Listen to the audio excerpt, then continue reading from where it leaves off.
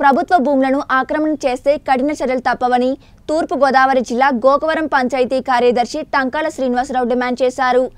ఆక్రమణలపై ప్రత్యేక నిఘా పెట్టామని గోకవరంలో కబ్జాలకు గురవుతున్న ప్రభుత్వ భూములు సర్వేలు నిర్వహిస్తామని తహసీల్దార్ తెలిపారు. కొంతమంది రోడ్డు పక్క ఉన్న స్థలాలను ఆక్రమిస్తూ గృహ నిర్మాణాలు నిర్మిస్తున్నారు. ఈ విషయం తెలుసుకున్న పంచాయతీ కార్యదర్శి టంకాల శ్రీనివాస్ వద్దకు వెళ్ళి ఆక్రమించిన భూమిని ప్రభుత్వానికి ఇవ్వాలని తెలిపారు. ఇవే కాక మండలంలో పలు చోట్ల ప్రభుత్వ భూములు ఆక్రమణకు గురవుతున్నాయని శ్రీనివాస్ అన్నారు. దీనిపై రెవెన్యూ అధికారులకు సమాచారం ఇవ్వడంతో రంగంలోకి దిగిన రెవెన్యూ సిబ్బంది ఎవరైనా ప్రభుత్వ భూములను ఆక్రమిస్తే వారిపై చట్టబద్ధమైన కేసులు నమోదు అవుతాయని అన్నారు నా పేరు శ్రీనివాసరావు.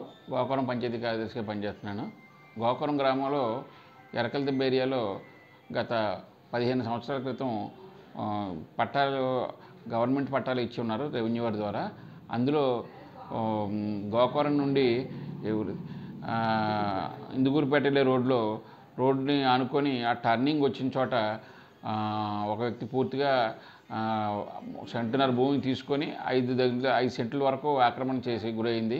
అది మొత్తం దాన్ని తా- స్థానిక తహసీల్దార్ వారి సమక్షంలో అది కనుక్కొని అది మొత్తం తీయించేయడానికి చర్యలు తీసుకోవడం జరుగుతుంది.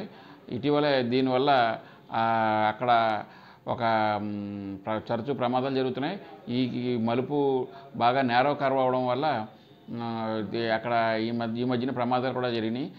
ఇక్కడ ఒక ఆటో ఒకటి అలాగే ఒక ఇది మారుతి కారు ఒకటి వెహికల్ ఒకటి మోటార్ సైకిల్ ఒకటి తిరబడిపోయినాయి కాబట్టి ఆ ఏరియాలో ప్ర- పూర్తిగా ప్రమాదం జరిగే అవసరం దీన్ని గుర్తించి గ్రామ తహసీల్దారు గ్రామ పంచాయతీ తరపున మరియు తహసీల్దార్ గారి సమక్షంలో మేము దీని మీద ఒక చర్యలు తీసుకోవడానికి ఆలోచించాం.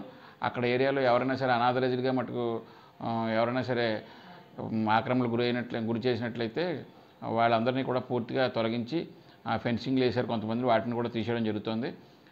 తొలగించడం జరుగుతుంది. గ్రామంలో ఇవే ఇవే కాకుండా గ్రామంలో ఎక్కడైనా సరే అనాథరైజ్డ్గా ప్రభుత్వ స్థలాలు ఆక్రమించినట్లయితే అవి పూర్తిగా తొలగించడం జరుగుతుంది. మీరు ఎవరూ నష్టపోకుండా ముందుగానే గ్రామస్తులందరికీ తెలియపరిచేది ఏంటంటే ఎవరో కూడా ఏ విధమైన ఆక్రమణలో గురి చేయొద్దని చెప్పి గురికా గురికా చేయొద్దని ఈ విషయంలో ఏ విధంగా రాజీ పడడం కుదరదని చెప్పేసి స్థానిక ఎమ్మెల్యే గారు కూడా ట్రాఫిక్ సమస్యని కూడా పరిష్కరించమని ఆదేశించాలి చేసి ఉన్నారు. వాటిని కూడా గ్రామంలో షాపులు ఇళ్ళు కూడా బాగా ఫ్రంట్కి వచ్చేసారు. వీళ్ళు ఉన్న ఉన్న ప్లేస్ కంటే దగ్గర దగ్గర పది అడుగుల వరకు ఎదరికి వచ్చేసారు. వీళ్ళందరూ కూడా వెనక్కి జరిపి మొత్తం రోడ్ని వైడింగ్ చేయడానికి పోలీసు వారి సహకారం రెవెన్యూ వారి సహకారంతో గ్రామ పంచాయతీ కూడా చర్యలు చేపట్టడానికి ఉపక్రమిస్తుంది. అలాగే పంచాయతీలో చాలామంది ఇల్లు